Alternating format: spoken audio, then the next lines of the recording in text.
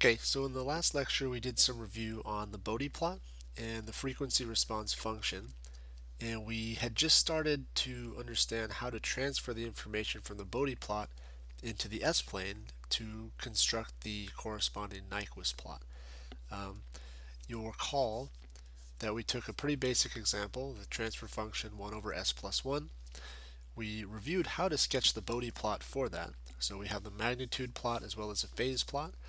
And then through sort of frequency by frequency analysis, we are able to plot data points on the S-plane, where the magnitude represents uh, the distance from the origin, the phase represents a phase angle from uh, the positive real axis, and we're able to construct enough points so that we can essentially connect um, the dots and produce the contour in the S-plane called the Nyquist plot one of the things that we learned is that the Bode plot, as you can see, only gives you frequencies from uh, small values of small positive values of omega all the way up through positive infinity. So we denote those frequencies by using the 0 plus through positive infinity. Uh, so the, the Bode plot itself only gives you one half of the Nyquist plot. The Nyquist plot itself has to be a closed contour by nature, so we mirror about the real axis to get the second half, which constitutes all frequencies from minus infinity up to 0 minus. Uh, what's very important here is to note those four key frequencies, 0 plus and minus, plus and minus infinity, as well as a direction of increasing omega, as that is going to be a key uh, factor when we talk about the Nyquist stability criterion a little bit later this lecture. What I want to do before we start talking about that is to give you a second method to sketch the Nyquist plot. Okay, so the Nyquist plot using method 1, which is what we picked up last lecture, essentially essentially requires you to have a very accurate Bode plot in order to sketch the Nyquist plot. Uh, and then once you have the Bode plot, you transfer that information over, and then you've got your Nyquist plot. The second method actually doesn't require you to have the Bode plot. Uh, we take a more analytical approach and we consider the frequency response function itself. Uh, so we don't actually need to sketch the Bode plot first in order to get the Nyquist plot if we can go through some analysis in the frequency domain. So we'll call this the no Bode plot method and we'll take a look at the very same example we looked at last time. 1 over s plus 1, and we'll see if we can come up with the same Nyquist plot using this method rather than the Bode plot method. Okay, so like I said, we're going to consider the frequency response function, which you get by plugging in j omega everywhere you see s into the transfer function. So we're going to be looking at the frequency response function L of j omega as 1 over, now there's an s here, so I'll plug in j omega plus 1. Sometimes I prefer to write this as 1 plus omega j, just because it's very clear that this is sort of a uh, uh, complex number in our traditional form, real plus imaginary. Okay. Um, the idea now is that this frequency response function, the frequency response function itself is a complex valued function. You can see there's a j in there, right? So it's a complex valued function its domain is the complex S-plane. Okay, uh, the idea is we can express complex value, uh, complex valued functions in a number of different ways. If you do a quick review of your complex number theory, for some arbitrary uh, complex value, you can express that as, of course, you can express that as uh, alpha plus j beta, or you can express it in exponential form, where the distance from the origin is r, and the angle measured from a positive real is theta. So we can also express this value s in the complex plane as r e to the j theta. Now this is just expressing the same value but in exponential form. And so what we're going to do is convert this complex valued function, right? It's not just a value in the s-plane, it's an entire function, but we can also express this in exponential form. What that means is everywhere you see a complex value like 1 plus omega j, you're going to replace that with uh, an arbitrary exponential form as a placeholder. Okay, what that means is L of j omega will now be written as, okay, so I've got 1 over, here's a complex value, 1 plus omega j. I'm just going to replace that by re to the j theta. Okay, so just replace one complex number uh, with a different form of a complex number. Okay, once we do that, for all for anywhere you see a complex value in your frequency response function, um, once you complete that, then you take your overall uh, frequency response function and you write it in exponential form. In other words, I can factor out uh, I can factor out the 1 over r and I want the form to look like uh, some value times e to the j uh, some phase angle right? So I can move this exponential up into the numerator if I change the sign of the exponent. So I'll make this equal to minus theta. All right, so what I've done is I've written the entire frequency response function in exponential form like so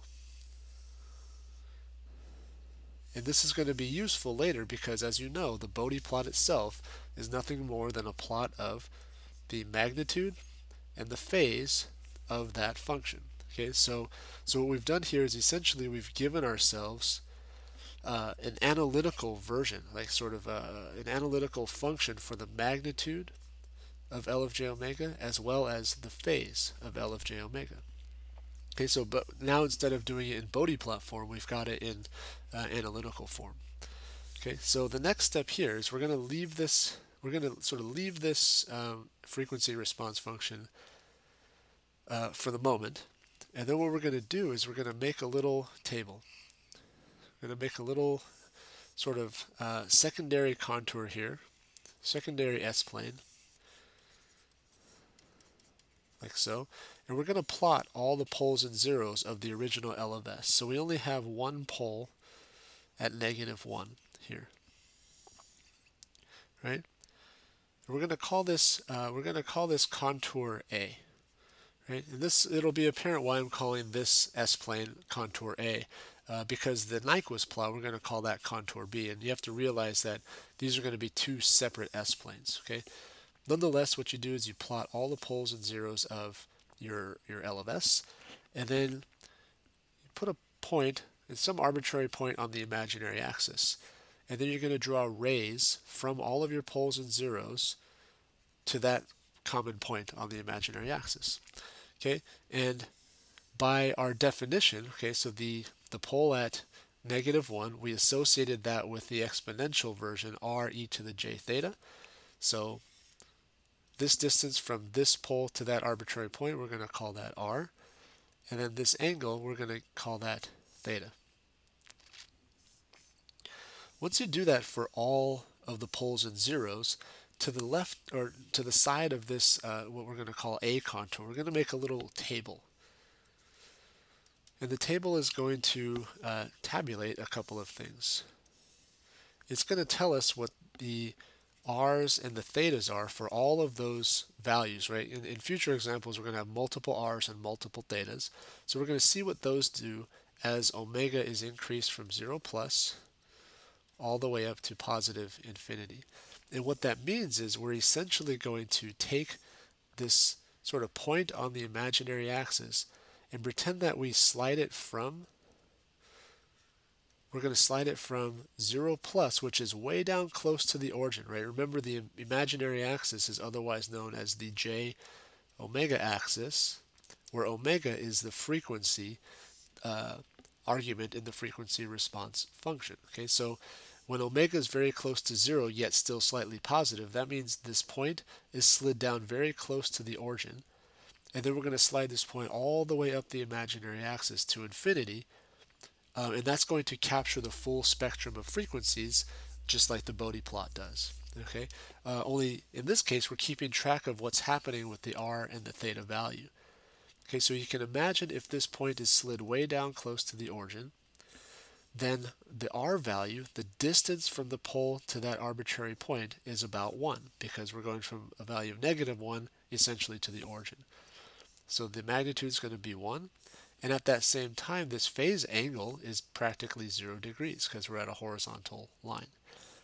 as you take this point and you slide it up the imaginary axis, right? We're going to slide it up basically until infinity. You're going to find that the magnitude of that r approaches infinity and the phase angle approaches 90 degrees. Right? So that point is just going more and more vertical, so that angle theta approaches 90 degrees. You're going to do the same uh, sort of exercise for all of the r's and r, all of the thetas in your particular system. And once you're done, you're going to draw a line and construct two additional rows. And those rows are going to be, one is for the magnitude and another is for the phase angle. And this is where you're going to revisit your uh, frequency response function written in exponential form. Because remember, we developed an analytical form for the magnitude and an analytical form for the phase. Okay, so the magnitude of L is equal to 1 over R according to our uh, exponential version of the frequency response function. And 1 over R, when omega is close to 0, gives us 1 over 1, which is 1. As we slide the frequencies up to infinity, R approaches infinity, which means that the magnitude, which is 1 over r, should approach 0. Okay?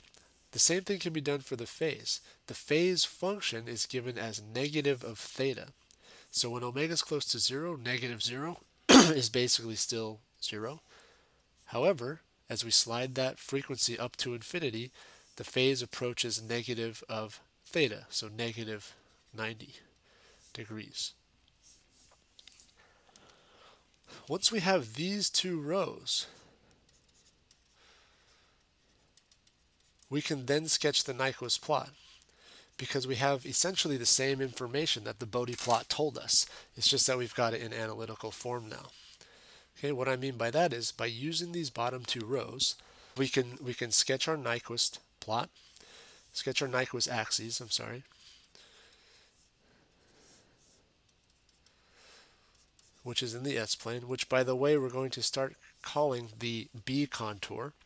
Right, so the A contour is sort of where we map all of our poles and zeros of the L transfer function, and the B contour is where we actually sketch our Nyquist plot.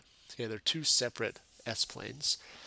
Nonetheless, we can start by looking at the frequency close to zero. We have a magnitude of 1, so distance from the origin of 1 at a phase angle of 0. Okay, what that looks like here is magnitude of 1, phase angle of 0, which puts us right on the real axis at a value of 1, right?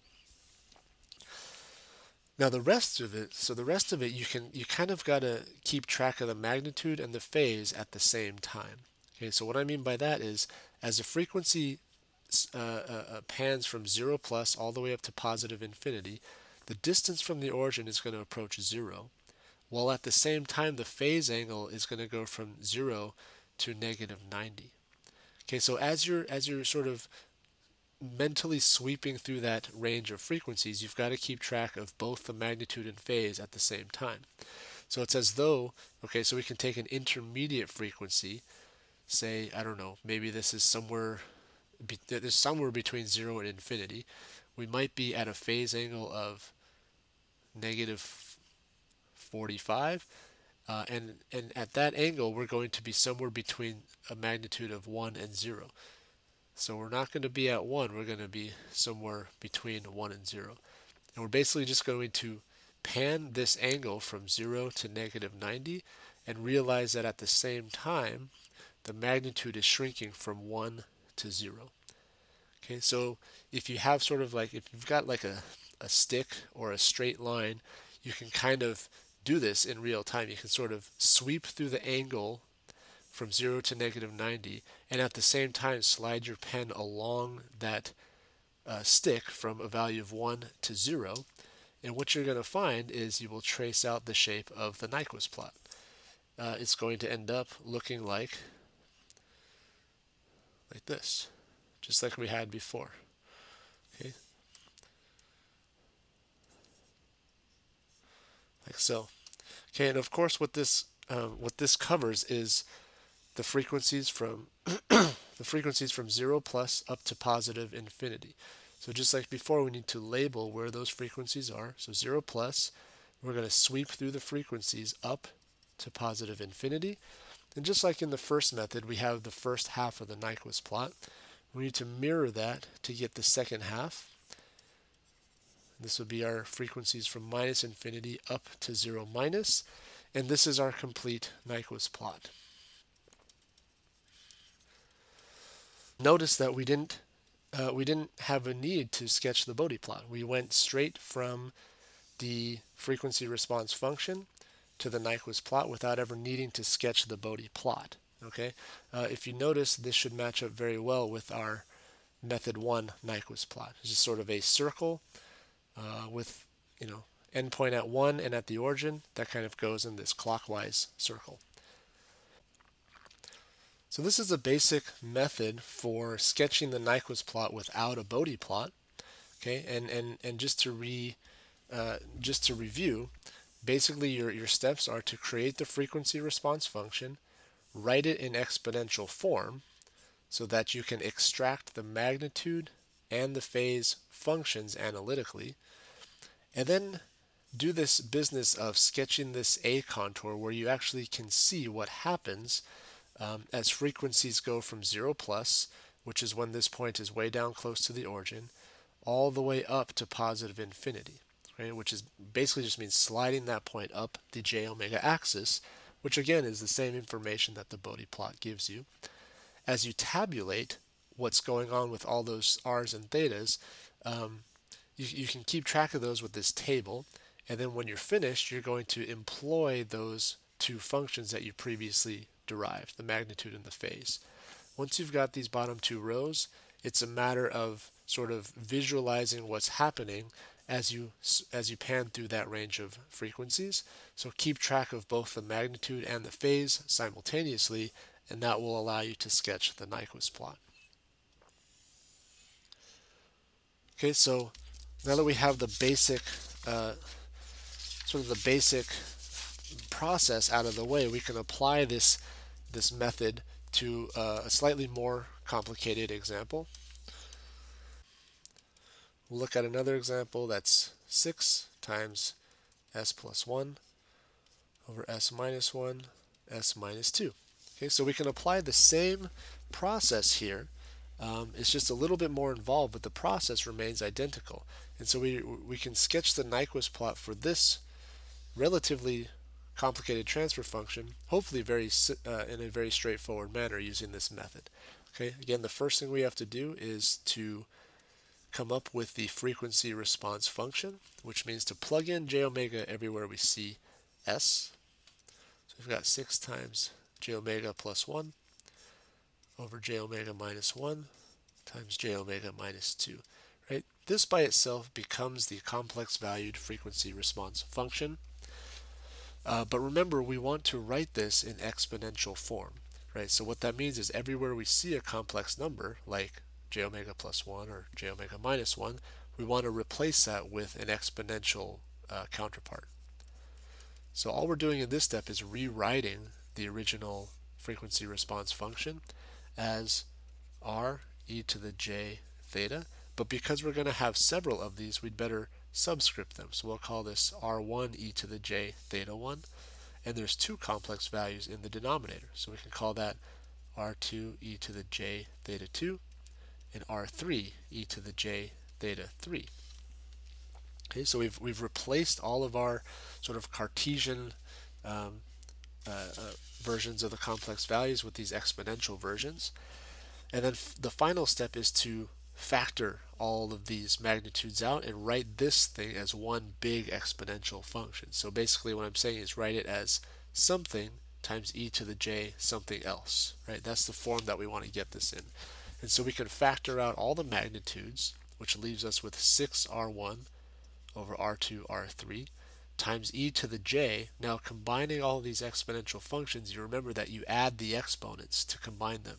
So we've got theta 1 in the numerator but we want to bring this theta 2 and these theta 3 into the numerator as well, so we're going to change the sign. Like so. Okay, so theta 1 minus theta 2 minus theta 3 is the effective overall phase for this frequency response function. And like, like before, what we're going to do at this point is we're just going to sort of let this sit, right? Let this guy just sort of marinate for a minute. And we're going to recognize that we've developed an analytical uh, form for the magnitude and the phase of this L of j omega. Okay. What we're going to do next is we're going to sketch out our A contour. Our A contour consists of a very basic uh, S-plane, and this is where we're going to do our so-called mapping. Uh, what we need to do is plot all the poles and zeros of our original L of S. So we've got uh, a stable zero at negative 1, unstable pole at 1, and an unstable pole at 2.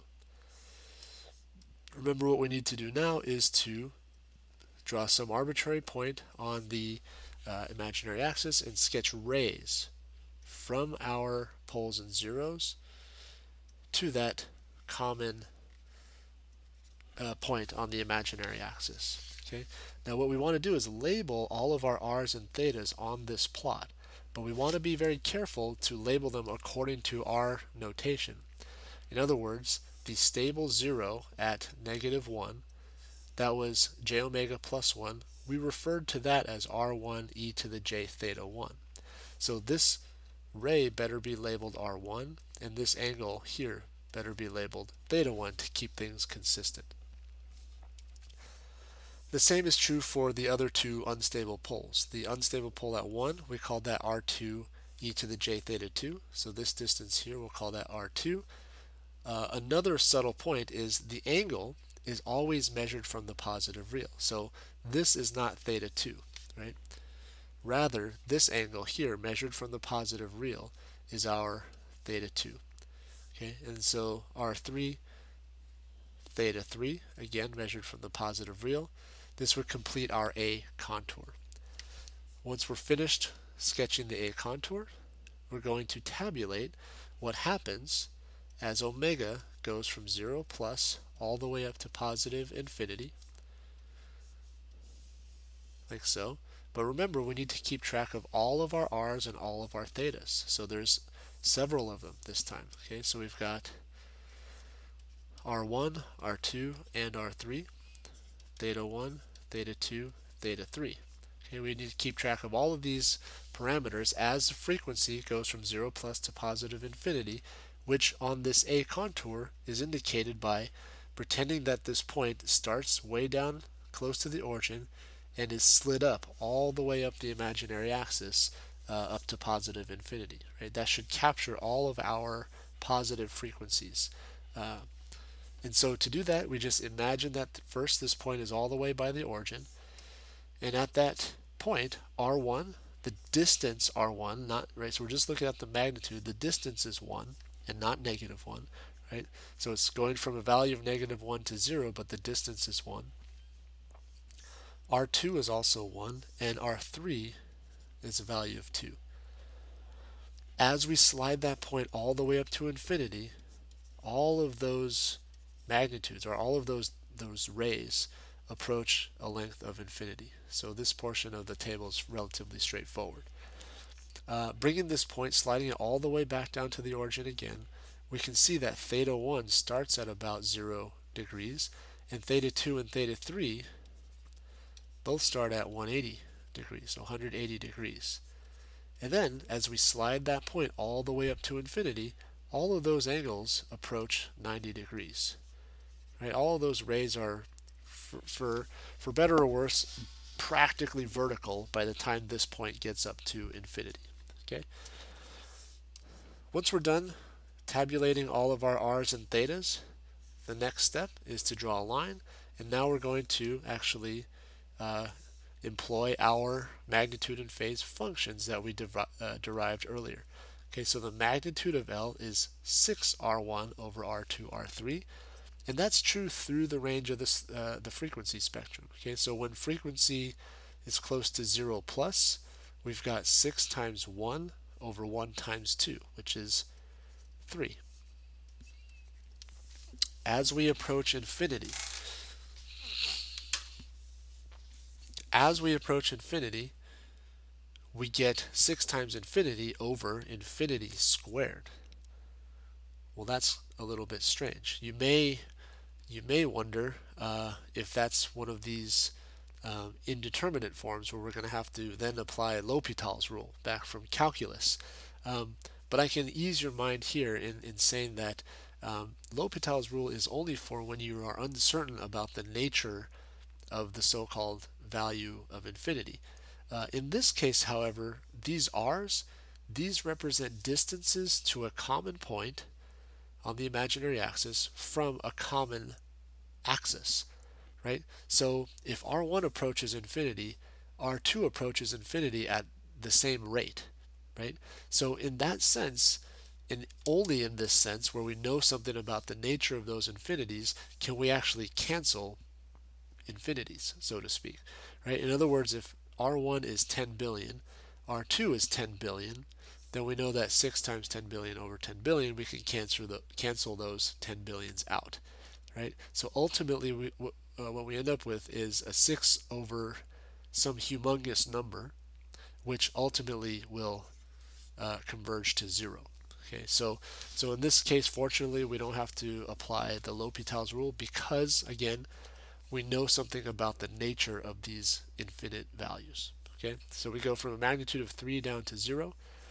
For the phases, okay, when this point is down close to the origin, again, we've got 0, 180 for theta 2, 180 for theta 3, but the function that we apply is the one that we derived up here. So it's theta 1 minus theta 2 minus theta 3 turns out to be the phase function. Okay, so 0 minus 180 minus another 180, that's minus 360 degrees. Uh, don't be tempted to replace this with the, the equivalent value of 0 uh, because in this special case they are actually not equivalent and I'll show you why in just a sec.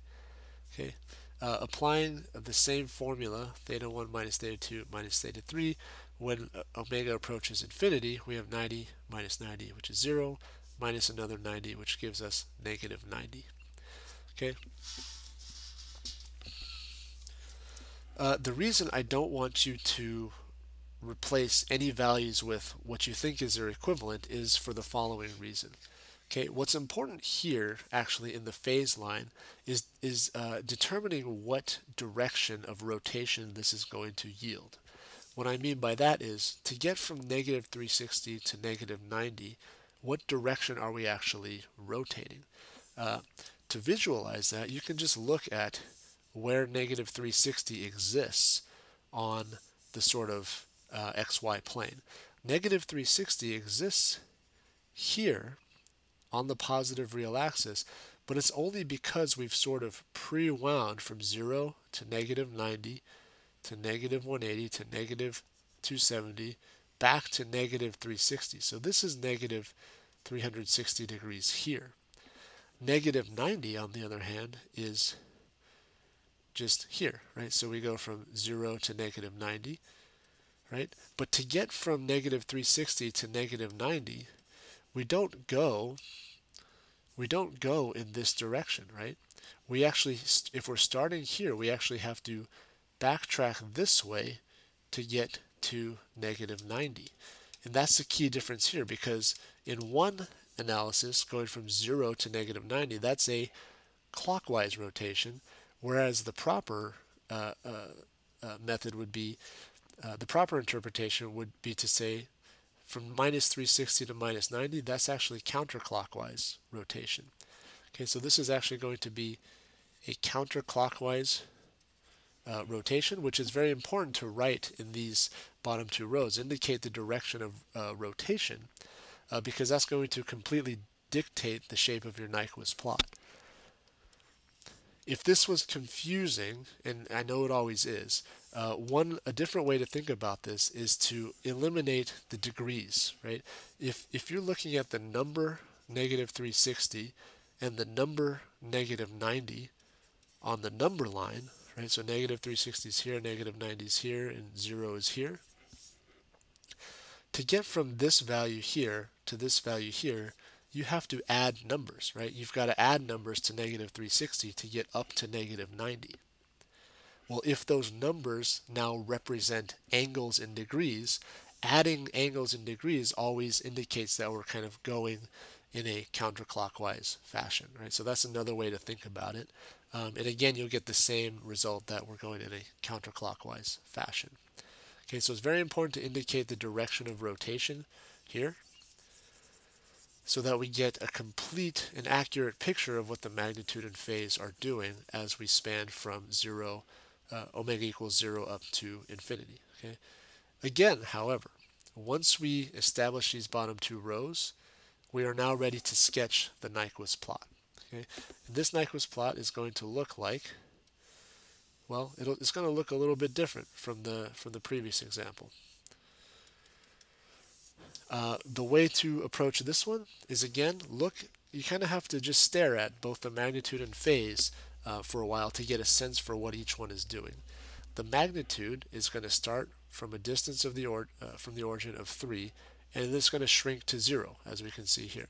Right? So the Nyquist plot is going to end at the origin, uh, as it often does, and it's going to start uh, at a distance of 3 it's going to span through an angle of minus 360 up to negative 90 in a counterclockwise fashion, right? So this is kind of the key. So minus 360 exists here on the real axis, and we're going to plot this point of 3 right here because we're at a magnitude of 3, phase angle of minus 360. But to get to minus 90, we are not going to go this way. Right? We're not going to go clockwise because that's incorrect. Rather, we're going to wrap all the way from minus 360. Uh, I'll do this in a different color here. We're going to wrap from minus 360, which is here, and we're going to wrap all the way around to minus 90 in this counterclockwise fashion. However, through that span of that angle, we, we are shrinking in magnitude from 3 all the way down to 0. So instead of looking like a three-quarter circle like this, what we actually end up uh, having is a Nyquist plot that follows that same angular trajectory, but the, the magnitude is shrinking all the time. So actually, the distance from the origin continues to shrink until we reach our phase angle of negative 90 degrees. Okay, so one more time, we started at an angle of uh, started at a magnitude of 3, ended up with a magnitude of 0, as we span through an angle of minus 360 all the way up through minus 270 to minus 180 all the way to minus 90 degrees. Okay, again, we have to label our key points. So this expresses the frequency response from 0 plus up to positive infinity. We need to indicate the direction of increasing omega, as always. And then to get the complete Nyquist plot, we have to mirror about the real axis. And that will that would give us the frequencies from minus infinity all the way up to 0 minus. Okay, so this becomes our complete Nyquist plot here. Again, we applied the exact same process as the previous example. There was just more to this one, right? The process is identical, but there are just more things that we have to keep track of. Okay, so what I'm trying to illustrate here is uh, specifically the process to follow and how you can get um, uh, decent results if you follow the process, regardless of how uh, sort of complex it gets. Now, before we jump into uh, introduction to the Nyquist stability criterion, I do need to mention that method two only works for so-called uh, uh, monotonic systems. So this method where we don't need the Bode plots, monotonic systems only. Right? What that means is the Bode uh, magnitude and or the Bode phase both need to be monotonic. In other words, if it's monotonically increasing, that means that the, so we'll do a couple of examples here. Okay, so, so a monotonically increasing uh, magnitude would be one that it's either flat or it's increasing, like so. A monotonically decreasing Bode magnitude, which means it's either flat or decreasing, right? Uh, same goes for the phase. Monotonically increasing phase means it's either zero or it's always increasing like so. Monotonically decreasing means it's either zero or the phase is decreasing. Okay, Method 2 only works for these types of systems. As a counterpoint, method 2 will not work method 2 will not work for a case that looks like this. Right? A, a, a Bode magnitude plot that looks like this is not monotonic because, say for a resonant peak, for some portion the magnitude increases and for another portion it decreases like so. Right? So this is not monotonic here. And the same could be said about the phase. If you have any phase plots where it, it both increases and decreases, method 2 does not actually apply. Um, and the reason, of course, is because you're, you're missing a lot of the intermediate frequencies. And so you're missing a little bit of dynamics there um, when we try to apply method 2, specifically because method 2, if you look at this table, it really only uh, considers two points. It considers the endpoints, uh, 0 and positive infinity. So on the Bode plot itself, we're really only considering really low frequencies and really high frequencies. And if the system happens to be monotonic, we can deduce um, or, or uh, infer what the magnitudes and phases are doing between those endpoints. But for a system that's non-monotonic, uh, 0 plus is here, positive infinity is out here, we're missing this set of dynamics here. We're missing this whole resonant peak because method 2 doesn't consider all of the intermediate um, dynamics. Okay, so method, method 2 only works for monotonic systems. Um, that's just one sort of caveat to this uh, method. But otherwise, it's a very useful method. I, I, would argue that it's faster than sketching the Bode plot um, and perhaps more intuitive uh, as well because you're developing the magnitude and phase functions directly.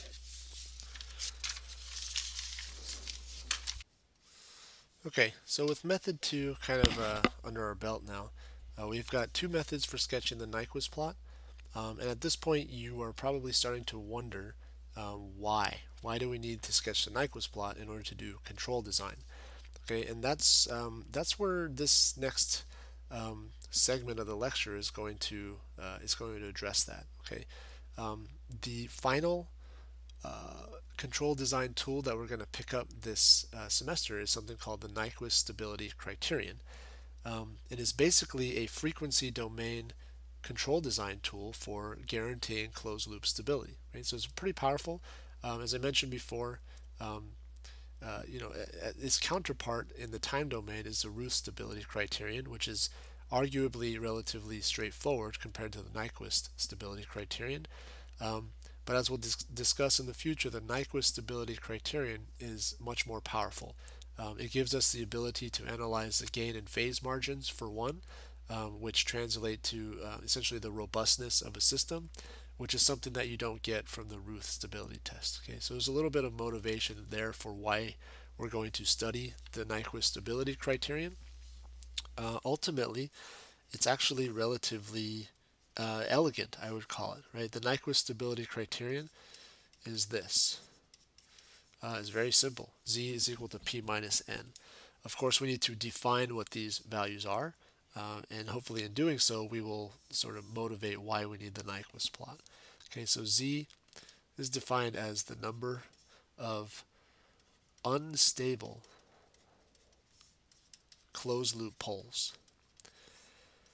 P is defined as the number of unstable open loop poles. And N is defined as and this is the kicker here, the number of counterclockwise encirclements about the point negative 1 on the Nyquist plot.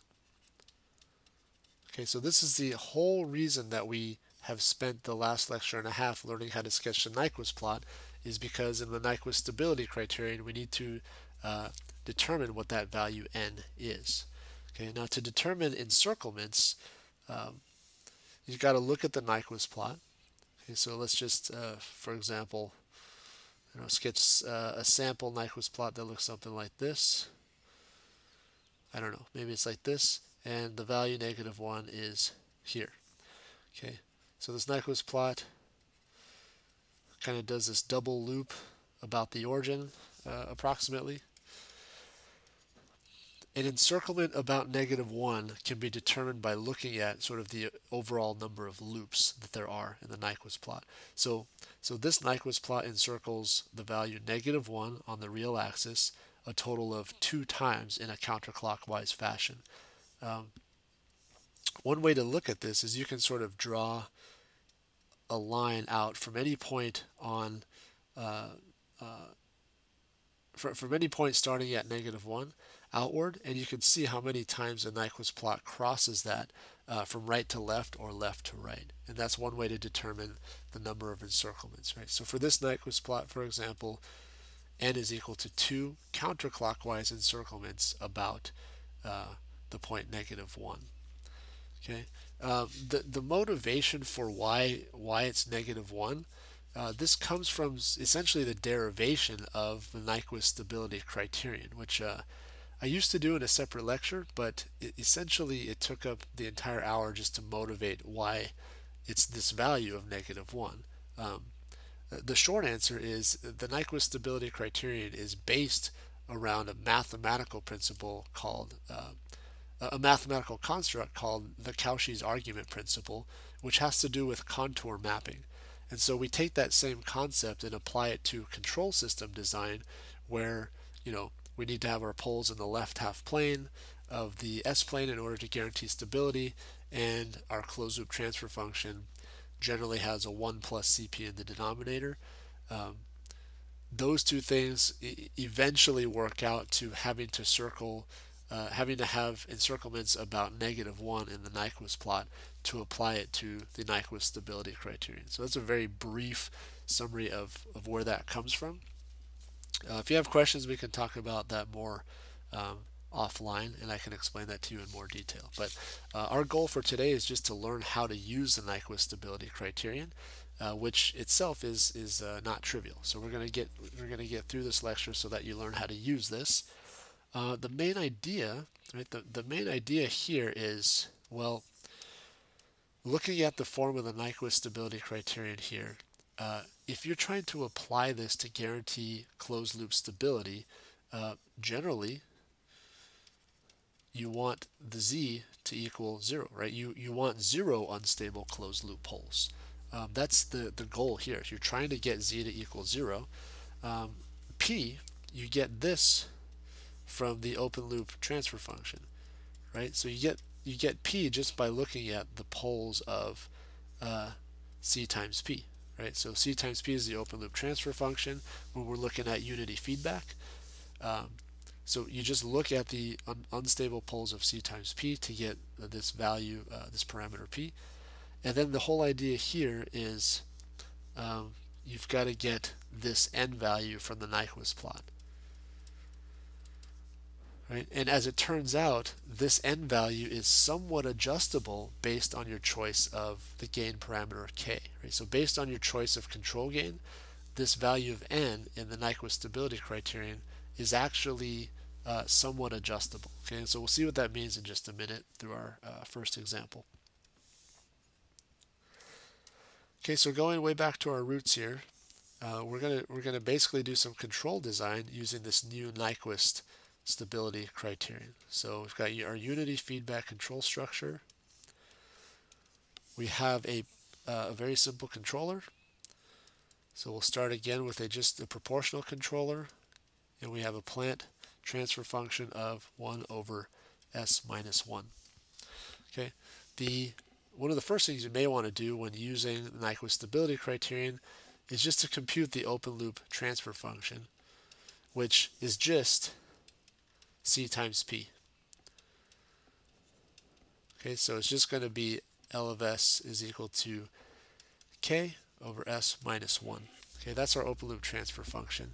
Um, what I want you to be very careful of here is uh, we just got finished with doing the root locus analysis where I used the similar notation of L, but for the root locus, that L represents that very special transfer function once you write uh, right once you write your characteristic function 1 plus cp equals 0 in that special form of 1 plus k L of s equals 0. This is what you used uh, to determine the root locus using the rules 0 through 5, right? This is almost never equal to c times p. In fact, it's never equal to c times p for the root locus. Okay, so the root locus is a special case where the L of s related to the root locus is just this whatever left over in, uh, after writing um, the characteristic function in this special form. For mostly for most all other scenarios, and uh, including the Nyquist stability criterion, L of s is the open loop transfer function, which equals c times p. Okay, so I understand that can be confusing, and I should probably update the notation, but uh, that's where we're at now. Okay, so L of s for the Nyquist plot is just c times p, in which case we've got k over s minus 1 uh, which means right away in the Nyquist stability criterion, right, so z equals p minus n, we can determine that p is equal to 1. There is one unstable open loop pole. So p is equal to 1 in the Nyquist stability criterion. Okay, uh, what we need to do is actually to sketch the Nyquist plot so that we can figure out what n is and then uh, determine closed loop stability. Okay, so we can use, let's use method 2 again to sketch this Nyquist plot, assuming that this L of S is monotonic, which it is.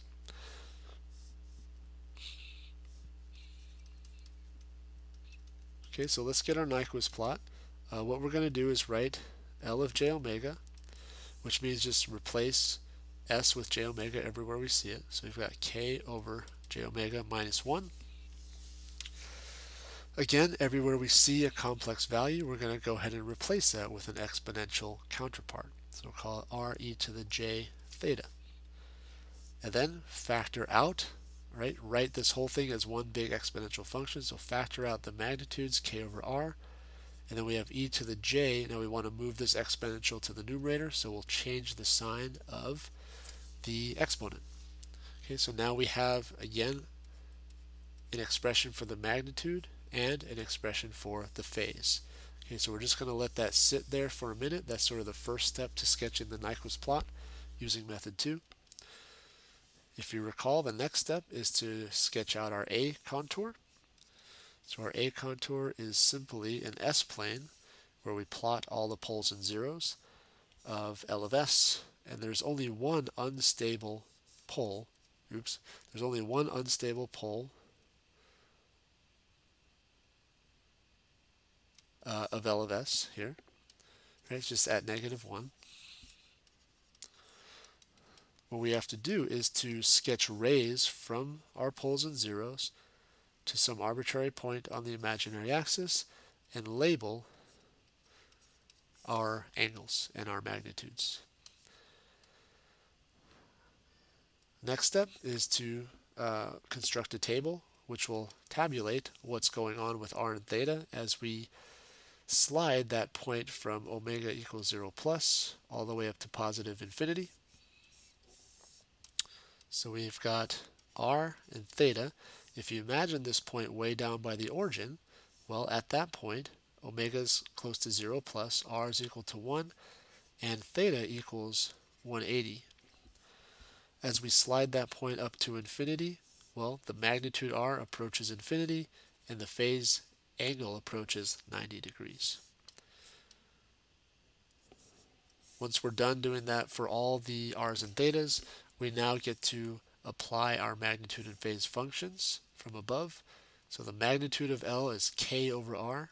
The phase of L is negative of theta. So just applying the information in the rows above, k over r for small values of omega is approximately equal to k over 1. So we just have k. As we slide that frequency up to infinity, we've got k over a value that approaches infinity, so the magnitude is going to approach 0. For the phase, we're going to slide that point all the way back down to the origin. We've got a phase angle of 180, but the phase function itself is negative of that. So it's negative 180 up to negative 90. Now it's important again to consider the direction of rotation. So to get from a value of negative 180, which is here, to a value of negative 90, which is here, I've got to, again, add degrees, right? So negative 180 plus 90 degrees gives me negative 90. By virtue of adding degrees, I'm actually rotating in a counterclockwise fashion, right? So that's the important part there. Once I have those bottom two rows, I'm essentially ready to sketch the Nyquist plot. Okay, so on the on the Nyquist plot, I've got the following, and this is interesting because this is the first time we're seeing a value, a variable in the Nyquist plot itself. So considering only positive values of k, right? If k is only allowed to be positive values, uh, which is generally the assumption, we have that for for uh, low frequencies or small frequencies close to zero, we have a magnitude of k at a phase angle of minus 180 degrees. Okay, so the distance from the origin is k, but we're actually on the negative real axis because we're at starting at minus 180. Okay, so this is, we're going to call that minus k. That's 0 plus. And then as we uh, sweep through all the positive frequencies, the magnitude approaches 0. So again, we're going to end at the origin, but we're going to sweep through this angle of minus 180 to minus 90. Okay, so this is the sort of quadrant where all the action is going to take place because our endpoints are minus 180 and minus 90. If you can imagine sweeping through this angle, while at the same time the magnitude is shrinking to zero, you end up with this sort of semicircular shape. Okay. So this is what the first half of the Nyquist plot looks like. And again, we've got to indicate uh, our key frequencies and our direction of increasing omega. We also need to mirror to get the complete to get the complete closed contour from minus infinity up to 0 minus. Okay, so this becomes our complete Nyquist plot here. Now this is interesting. This highlights a new uh, concept here, which is once you incorporate controllers into your system, the Nyquist plot will also be a function of that k value. Okay, so what you see here is that as you change the value of k, the Nyquist plot essentially is scaled about the origin. It sort of expands and contracts about the origin.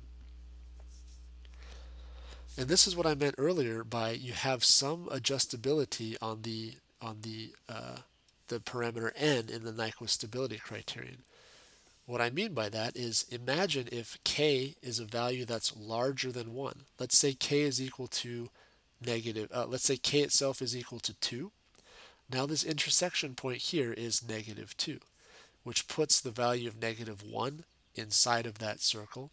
And therefore we've got the Nyquist plot encircles this point negative 1 in a counterclockwise fashion one time. Okay, so we'll just do a couple of test points here. If k equals 2, then n is equal to 1.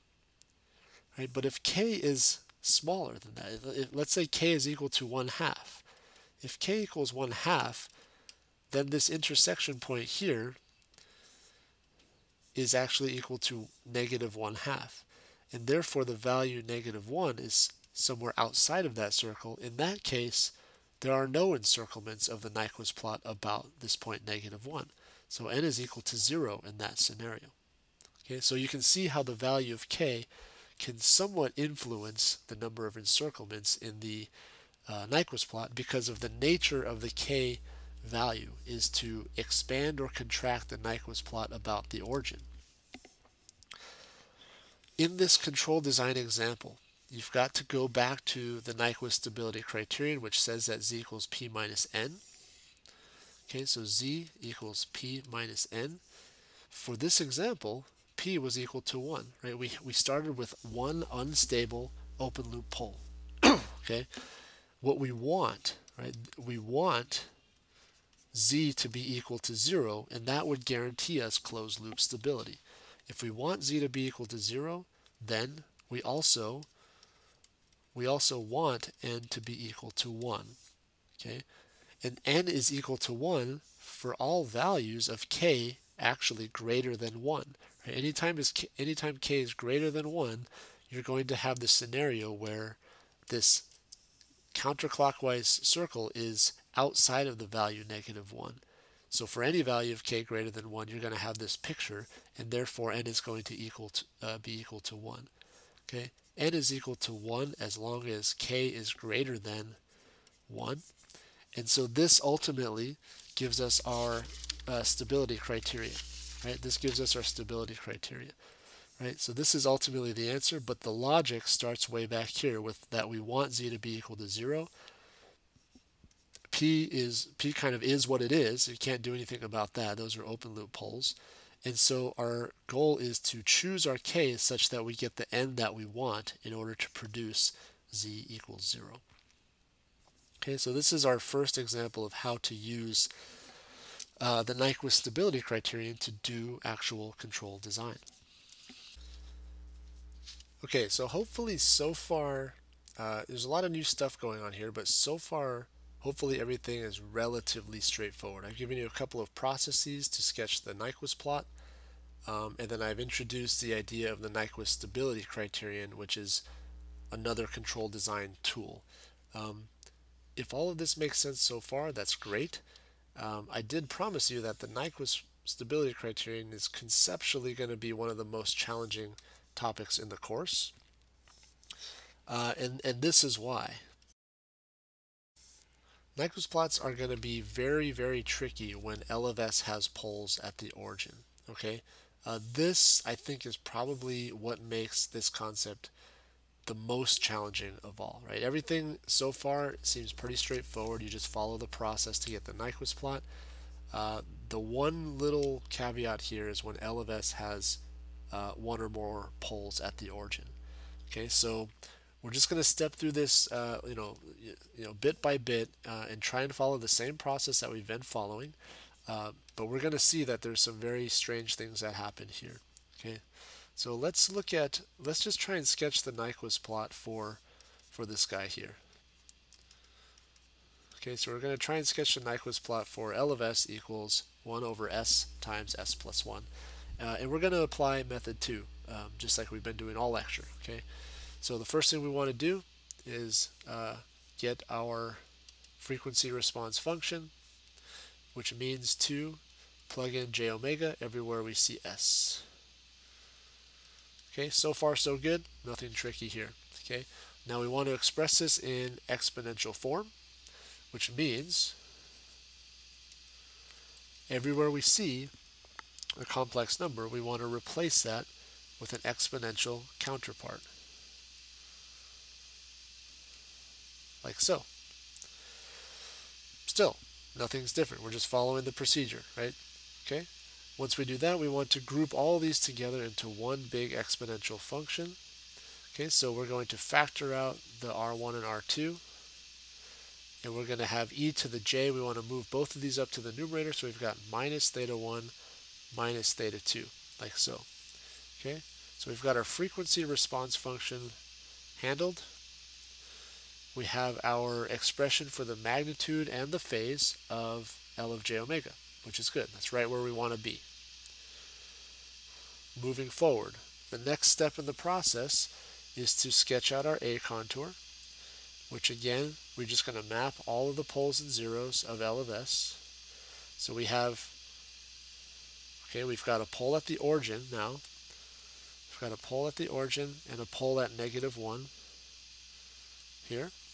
We need to sketch rays from those points to an arbitrary point on the imaginary axis. And then we're going to label carefully, right? R1 theta 1 corresponds to the pole at the origin. So this is R1.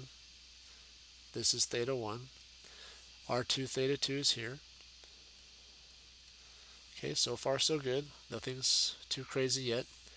And then we're going to make our table to see what happens as we increase frequency from 0 plus up to positive infinity. And we're going to find here that hopefully what you find is that this notation of 0 plus and 0 minus starts to come into play, starts to come into handy. Uh, starts to come in handy. okay, so we gotta we gotta tabulate R1, R2, theta 1, and theta 2.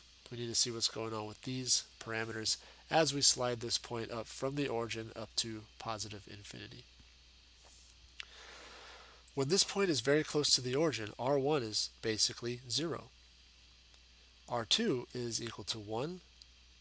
Theta 1 is approximately 90. No, theta 1 is exactly 90, and theta 2 is approximately 0. Okay, as we slide that point up to infinity, uh, we're going to have that R1 and R2 both approach infinity, and theta 1 and theta 2 both approach 90 degrees. Okay, still, so far so good, nothing too different. Okay, now as usual, we're going to apply our magnitude and phase functions here. 1 over r1, r2 is the magnitude function. So when omega is close to 0, we've got 1 over 0 times 1 that's a very huge number, right? So we're going to basically approximate that at infinity. This is strange. We haven't seen this before, a magnitude of infinity, but that's fine. We're going to keep moving along with this process. Um, as omega approaches infinity, we've got 1 over infinity squared, so the magnitude approaches 0. For the phase, we have negative theta 1 minus theta 2, which is negative 90. And then we have minus 180 as omega approaches infinity. Okay, the direction of rotation here, so here's minus 90, here's minus 180. To get from point A to point B, we're actually going to subtract numbers. So in this case, we have clockwise rotation. Now, the thing that's going to happen here is that normally, when we get to this point of these bottom two rows, usually we can go straight to our Nyquist plot. Okay, usually we can just jump straight into our Nyquist plot. But you can see if we tried to do that here, let's see what happens if we try and do that right here. When omega is close to zero, we're at a phase angle of negative 90, which is somewhere on the negative imaginary axis, at a magnitude of infinity. So we're somewhere on the imaginary axis. We'll just call this value, you know, minus infinity. So very, very far down the imaginary axis. Uh, on the imaginary axis. So that's the, that's the key point here. The assumption is that we're on the imaginary axis. Uh, as we as we pan through this angle of minus 90 to minus 180, our magnitude is just shrinking to zero. So it might appear that it might appear that the Nyquist plot just kind of rides along the negative imaginary axis until it gets to the origin. And that's what that's what you would get if you went straight off this bottom two rows, right? That's exactly what you would get. Now the only problem is, anytime you have a pole at the origin, this is the Nyquist plot that you would get because you're always going to have a magnitude of infinity somewhere. Okay, so you're always going to be riding along one of the imaginary axes. Uh, and that's just incorrect, right? The Nyquist plots have to be different when the when the plant changes. Okay, um, so so it turns out there's a piece of information that we're missing here. And in previous cases, we didn't need to consider it because 0 minus always mapped to 0 plus. But in this case, we have this strange business of this magnitude of infinity. So, so when L of S has poles at the origin, there's one additional computation that we have to do. And that is we have to consider the real component of L of j omega at omega equals 0. Okay, what it means is it's not just going to be on the negative imaginary axis. There's going to be a little bit of offset because the real component of that point is non-zero.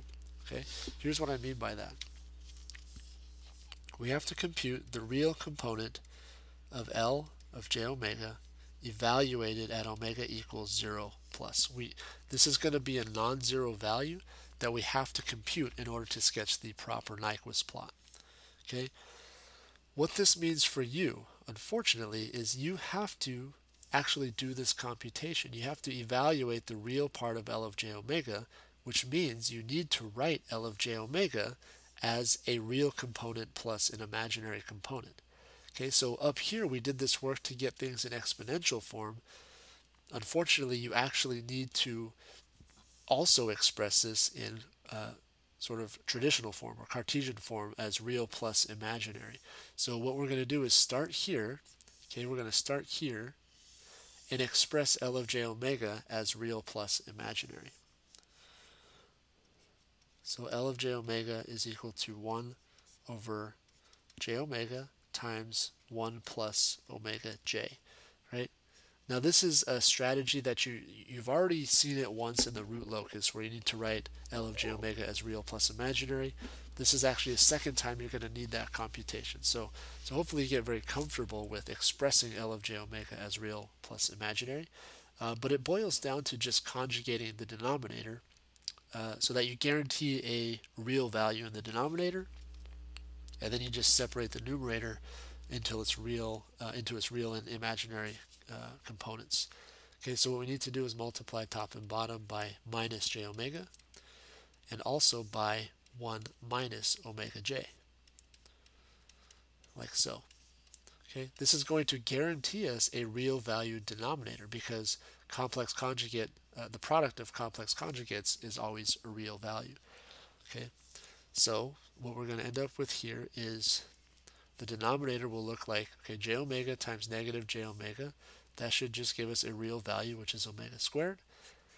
1 plus omega j times 1 minus omega j, that's going to give us 1 plus omega squared. Okay, so all this denominator is now real. In the numerator, we have uh, negative j omega times 1, which is minus j omega, times, uh, I'm sorry, plus omega squared times j squared, which is minus omega squared. Right, so in the numerator, we've got some real and imaginary components, but our denominator is purely real. So now we can just separate out these components. I'll keep all the real stuff here, minus omega squared, minus, now there was a omega j over here, over the same denominator, omega squared times 1 plus omega squared, and I'll write it this way. So we've got our real component and our imaginary component. So we've just written L of j omega, the same complex valued frequency response now as real plus imaginary. So we can, at this point, clean this up a little. We can cancel this guy here, and we'll just get minus 1 over omega squared plus 1, and also the imaginary component, one of these omegas can, can be canceled as well. So we can simplify in this way too. Uh, we're going to need this a couple of times, okay? So it's always important to be able to uh, express L of j omega as real plus imaginary. For this problem, we need to evaluate the real part of L of j omega, which is this part, at omega equals 0 plus. Okay, so L of j omega, I'm sorry, the real part of L of j omega evaluated at omega equals 0 is minus 1 over 1 plus 0 squared. I'm just plugging in omega equals 0 uh, to the real component here. And this gives me a value of minus 1. Okay, this is the key, one of the one of the key components of dealing with transfer functions with poles at the origin is that there's this third piece uh, to the puzzle, which is another data point uh, at omega equals 0 plus. Okay, so in addition to just the magnitude, all right, so, so for omega equals 0 plus, in addition to just the magnitude being infinite, the phase being negative 90, we also have that there's a real component that's equal to negative 1. And this is the piece of the puzzle that's going to allow us to sketch the more accurate Nyquist plot. Okay, so here's our B contour. This is our Nyquist plot uh, on the S-plane. Uh, what we had again is a magnitude of infinity. So we're at a distance from the origin of infinity, which is strange already, at a phase angle of negative 90. So that puts us way down on the negative imaginary axis, but at that same frequency, omega equals 0 plus, we have a real component that's negative 1. So we're not actually on the negative real axis, we're slightly offset. And I'm going to draw this uh, extremely not to scale. I'm going to draw it here just for effect. And I'll use different colors like I've been using. Okay, so this represents omega equals 0 plus, and I'll show you what I mean by extremely not to scale. Um, in this picture, well actually in this picture, the distance from the origin, right? The magnitude, that's infinity, right? But the real component right here, that's negative 1. Okay, so I'm saying that this distance here is infinite, this distance here is 1. So this is very, very not to scale, but you kind of have to draw it this way in order to see the effect of, uh, uh, of your computations. Okay, So this point here corresponds to 0 plus, not the point on the imaginary axis. From this point, now we can carry out our, our uh, analysis of what's going on between 0 and omega equals infinity. Okay, the magnitude starts at infinity and shrinks to 0. Phase angle starts at negative 90 and uh, sweeps to negative 180. Okay, so because this picture is so out of scale, I'm assuming that this angle right here, I'm assuming that that's negative 90, right? Even though visually it's not, we're approximating that at negative 90 because uh, of this real component. And so from negative 90, we're going to sweep from there to negative 180, which is on the negative real axis, while at the same time recall that the magnitude is shrinking from infinity to zero. So we're going to end up at the origin through this sort of path right here. Okay, so you can imagine that we're just sweeping through this angle from negative 90 to zero, while at the same time the distance from the origin is perpetually decreasing until we get to the origin. Okay, it's a little bit tricky. You kind of have to think about this. You may have to stare at this for a minute to fully grasp this concept. Okay, but this is ultimately what our Nyquist plot is going to look like, or at least the first half of it. This is 0 plus, and this is positive infinity here. Okay, and again, this point here is minus 1, so it's very not to scale at all. Okay, now remember the Nyquist plot must be a closed contour. So generally we, we close a contour by uh, mirroring about the real axis. So in this case, if we mirror this about the real axis, we get this shape, where this should map to minus uh, infinity up to what we're going to call 0 minus. Okay, so we're not quite out of the woods yet because we're not finished. This is not a closed contour. So this is another reason that uh, systems with poles at the origin can get very tricky because while minus infinity maps to the a common point positive infinity, minus a zero minus does not map to zero plus as it has in all previous problems. Okay, so the last piece of the puzzle is to simply figure out how does zero minus map to zero plus. And remember, these are both points floating out at infinity. That's that's just that's just weird, right? So we need to figure out how these two points map to each other. In order to do that, in order to do that, we have to revisit our A contour way up here, okay? We've got to revisit this guy. Remember what we were doing in this portion of the problem is trying to figure out what all of the r's and thetas are doing as we map omega from 0 plus up to positive infinity. Okay, what that means is very, very close to the origin, right? So 0 plus means very close to the origin, but not quite all the way there, right? It just means very small, but still slightly positive. Okay, and we did that for a reason, and the reason is to account for when there's a pole at the origin. Okay, so, so what we need to do is actually make an assumption about this pole at the origin.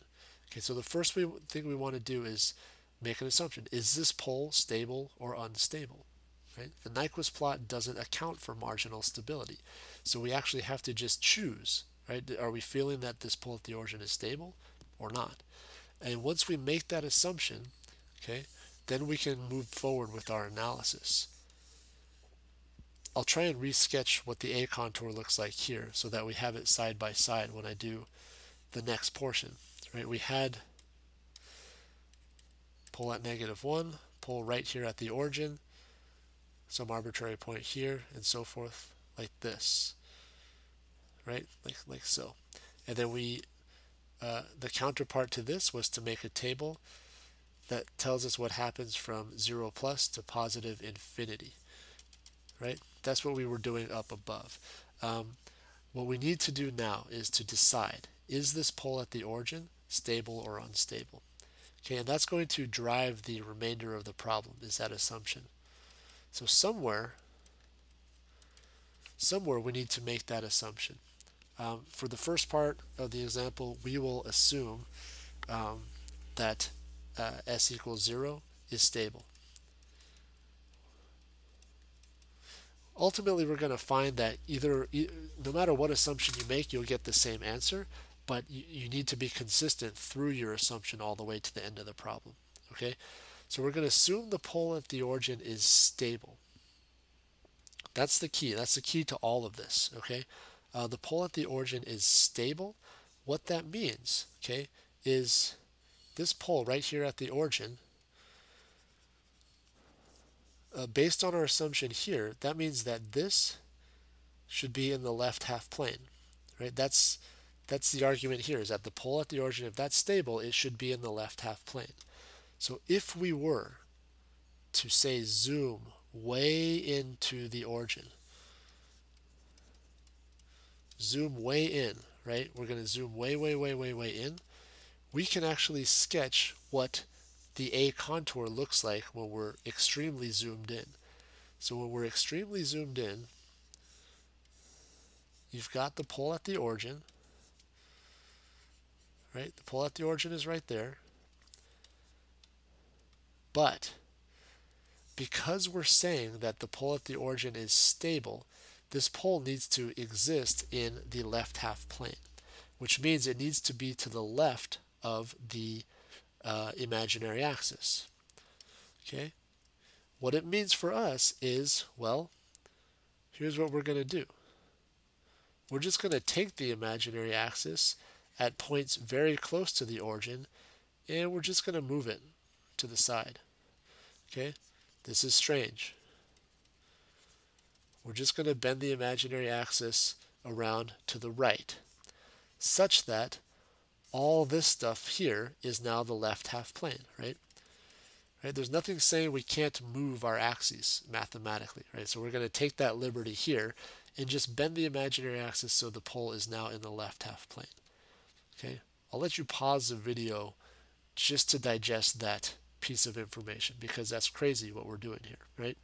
However, there's nothing mathematically that's stopping us from doing that. Okay, so again, the assumption is that the pole at the origin is stable, therefore we bend the imaginary axis to the right, which places that pole at the origin right there in the left half plane. We're going to call this the A prime contour okay, because it's essentially the A contour here, but we're just extremely zoomed in to the origin, right? So the pole at negative 1 that's depicted here, on the A prime contour, it doesn't even show up because it's so far to the left that we can't see it, right? Because we're that far zoomed in. Recall that now we can actually see where 0 plus and 0 minus are on the imaginary axis, right? Because we're so far zoomed in, we can actually see a, a visible gap between 0 and 0 plus. Okay. Once you wrap your head around this concept here, right? If, if you can if you can buy this for the moment, then our process for analyzing what's going on is exactly the same, right? Except when we make our table, we're not going to map from 0 plus to positive infinity. We're simply going to map frequencies from 0 minus up to 0 plus. That's the part that changes here okay?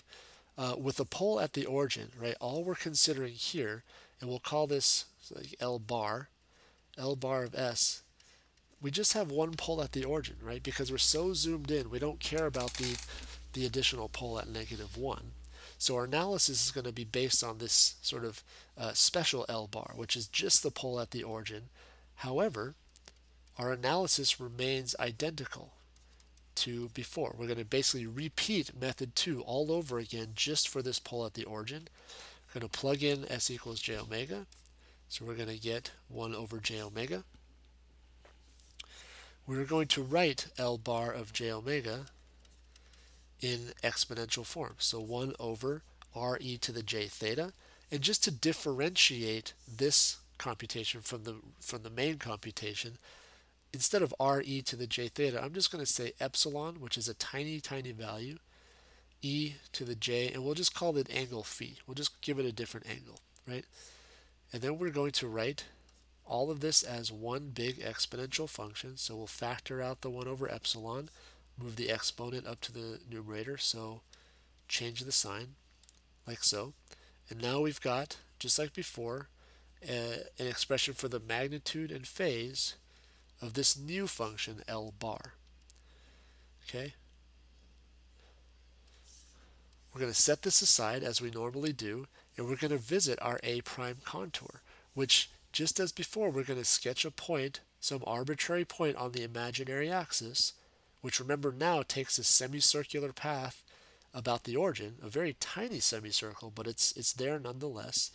And then we need to draw rays from our poles, which is this one here at the origin, out to that uh, point on the imaginary axis. Note the radius or the magnitude and the phase angle, right? So we've got epsilon and phi here, and then we're going to tabulate over here on this table what's going on with epsilon uh, and phi. Okay, when remember we're not mapping from 0 plus to positive infinity anymore. We're mapping from 0 minus, which is way down here, up to 0 plus, which is way up here.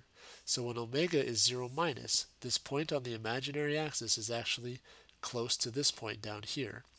At that point, epsilon, which is just the radius or the magnitude, uh, the distance from the pole to that point on the imaginary axis, that's just constant because we've drawn a semicircular path around that pole. Uh, the phase angle, however, is negative 90 degrees because we're down here close to 0 minus. As we sweep that point along the imaginary axis from 0 minus up to 0 plus, epsilon stays the same. It's just a constant radius throughout this whole path, but the phase eventually ends up at positive 90 right? Positive 90 degrees. Okay, and that's it. That's that's all epsilon and phi are doing through that span of 0 minus to 0 plus. Now, just like before, we're going to employ our magnitude and phase functions for this new special L bar transfer function here. So the magnitude is 1 over epsilon, so 1 over a very, very tiny value is infinity, and that's going to be the same from 0 minus to 0 plus, infinity to infinity. And that's actually a good thing because remember, on the actual Nyquist plot, we're trying to figure out how this value of at, a, at an infinite uh, distance maps to this value at an infinite distance. Okay, so this is good so far. Uh, the phase is given as minus phi, right, from our frequency response function. So minus phi, that gives me actually 90 to negative 90. And the most important piece about this um, analysis here is the, the direction of rotation. Okay, so 90 degrees is up here. Negative 90 is down here. To get from this point up here down to this point, I have to, I've got to uh, subtract degrees. I have to subtract numbers, right, to get from the value 90 to negative 90. So this gives me clockwise rotation clockwise rotation from 90 to negative 90. And that's the key. That's the absolute key to this part of the problem is that the mapping from 0 minus to 0 plus on the Nyquist plot takes place at a value of infinity through a clockwise rotation. Let's see what that looks like as we finish up our Nyquist plot up here.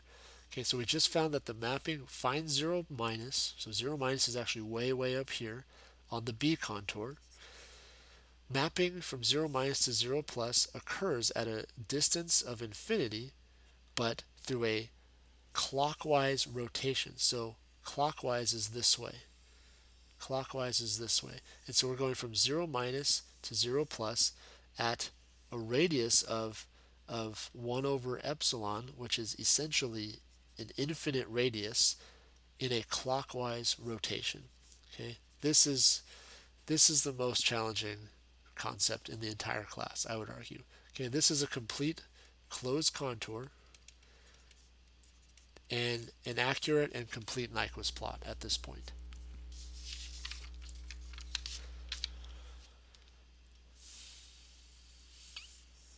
Okay, remember all of this started with this assumption that the pole at the origin is stable.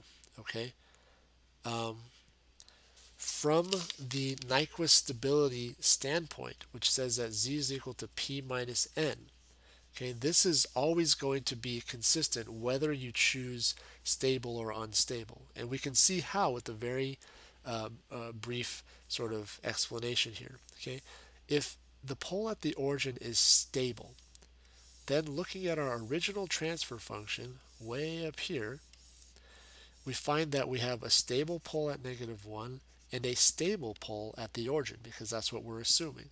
So there are zero unstable poles in the open loop transfer function. So as far as the Nyquist stability criterion is con concerned, P is equal to zero. Okay, there are zero unstable poles. The corresponding Nyquist plot based on this assumption is what we sketched up here.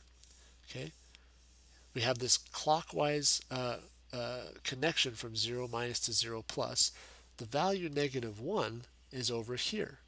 So looking at this Nyquist plot, there are no encirclements of this Nyquist plot about this point negative 1 here.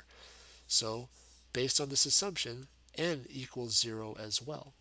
And so therefore we get that z equals 0. Okay, let's just see for the for, for the sake of completeness what happens if we made the opposite assumption. Okay, if we make the opposite assumption, well, the first part of the Nyquist plot doesn't change at all, right? The first part where we have this sort of from 0 plus to positive infinity, from minus infinity up to 0 minus, that doesn't change.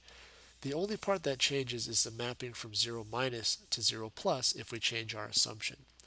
So, just for the sake of completeness, let's now assume s equals 0 is unstable. Okay, assume that it's unstable. Okay, what that means is for z is equal to p minus n, that means that we now have one unstable pole because we're considering the pole at the origin to be unstable.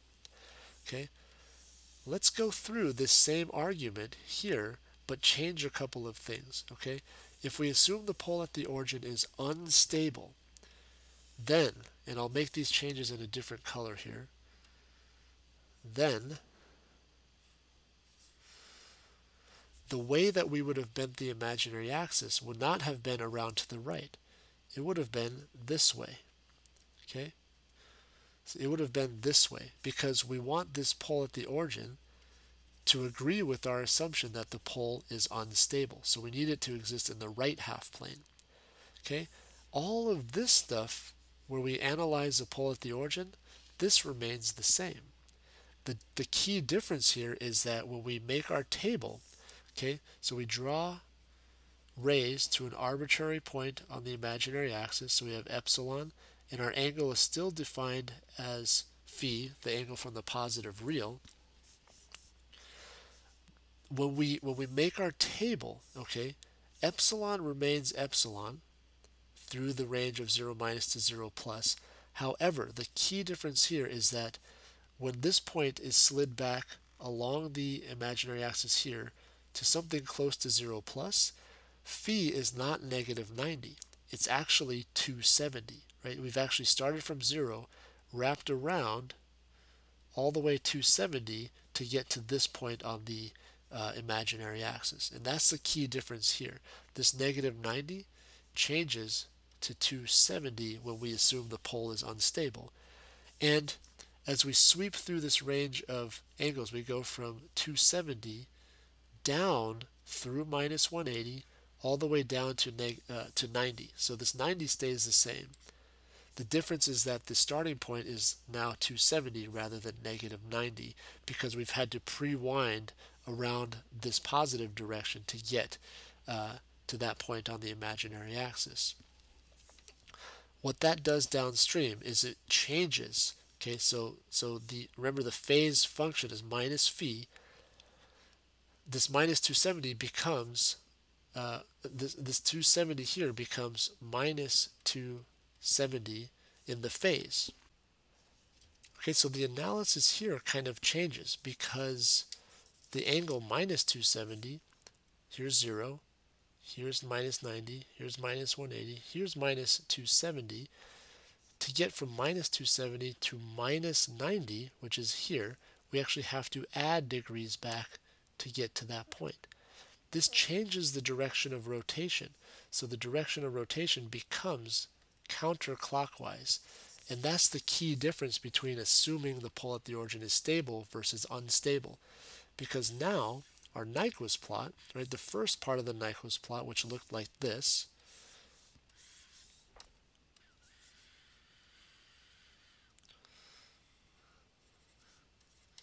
the first part of our Nyquist plot looked like this. And now with our assumption being that the pole at the origin is unstable, we have a mapping from 0 minus to 0 plus that occurs at a value of infinity in a counterclockwise fashion. And that's the key difference here. 0 minus is here, 0 plus is here. They're both at distances of infinity, but the mapping, according to this assumption, is now that it's counterclockwise. Counterclockwise rotation from 0 minus up to 0 plus. And this changes everything because now the value negative 1 is about here.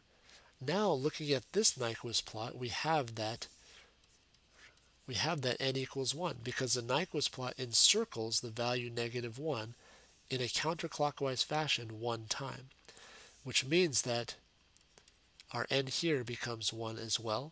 However, because of that assumption that the pole is unstable, we have 1 minus 1 is equal to 0, which gives us the same outcome as when we made the other assumption, only instead of 1 minus 1, we ended up with 0 minus 0. Okay, so it doesn't really matter what assumption you make. As far as the Nyquist stability criteria is concerned, the outcome is going to remain the same. The only difference is that when you have poles at the origin, the overall shape of the Nyquist plot is entirely dependent on your assumption, right? So this Nyquist plot is purely uh, purely looks this way because we assume the pole at the origin is unstable. Right? The Nyquist plot completely changes when we make the opposite assumption, right? So this Nyquist plot is valid for the assumption that the pole at the origin is stable. Right? So that's the part that changes is a Nyquist plot, but the Nyquist stability criterion outcome should never change depending on your uh, depending on your assumption. Okay, so this was a lot. I understand that. It's a very dense lecture. Um, we started relatively straightforward and then very quickly uh, sort of had to go headfirst into this world of Nyquist plots with poles at the origin. Okay, so uh, so so so so study this and, and, sort of let this stuff digest. Um, and the next lecture we're going to pick up uh, essentially how to put all this stuff together to do control design using these Nyquist plots.